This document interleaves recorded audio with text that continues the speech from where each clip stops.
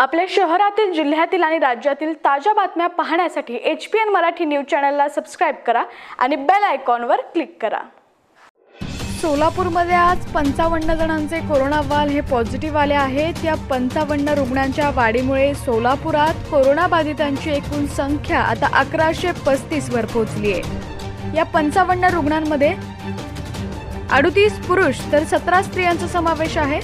व आजपर्यंत चौऱ्याण्णव जणांचा मृत्यू झालाय तर चारशे एकोणसत्तर जण हे बरे झाले आहेत अशी माहिती जिल्हाधिकारी मिलिंद शंभरकर यांनी दिली आहे.